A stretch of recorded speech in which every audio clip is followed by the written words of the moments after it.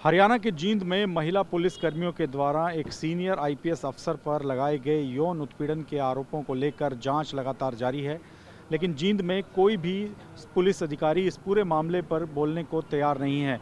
यहाँ तक कि जिस आईपीएस अफसर के अलावा एक डीएसपी और एक महिला एसएचओ का नाम इस पूरे मामले में सामने आ रहा है, उन्होंने भी चुप्पी साध रखी है। हम इस वक्त एसपी ऑफ़िस जींद में मौजूद हैं, जहाँ पर कोई भी अधिकारी इस पूरे मामले पर बोलने को तैयार नहीं है। हालाँकि इस मामले में जिस महिला डीएसपी और महिला एसएचओ का नाम सामने आ रहा है, वो सीधे तौर पे कह रहे हैं कि मामले की जाँच जारी है और जाँच पूरी होने के बाद ही वो इस पूरे मामले पर कुछ भी कह सकते हैं।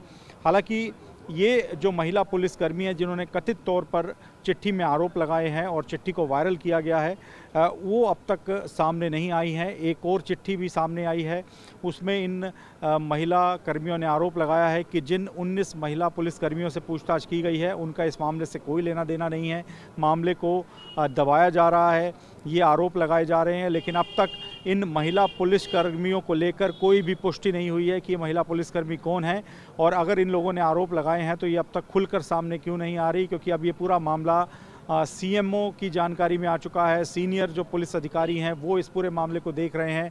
मामले की जाँच जारी है तो ऐसे में इन महिला पुलिसकर्मियों का सामने आना ज़रूरी है, लेकिन अब तक ये महिला पुलिसकर्मी सामने नहीं आई हैं। सिर्फ़ कथित तौर पर चिट्ठियाँ लिखी जा रही हैं, जिन्हें वायरल किया जा रहा है, और उसी के तहत ये आरोप प्रत्यारोप का सिलसिला जारी है। फ़िलहाल हरियाणा पुलिस का कहना है कि इस पूरे मामले की जाँच जारी है, और जाँच के बाद ही पता लग पाएगा कि इस मामले के पीछे की सच्चाई आखिरकार क्या है। जींद से कैमरामैन बीर सिंह के साथ मोहित मल्होत्रा टीवी नाइन भारतवर्ष।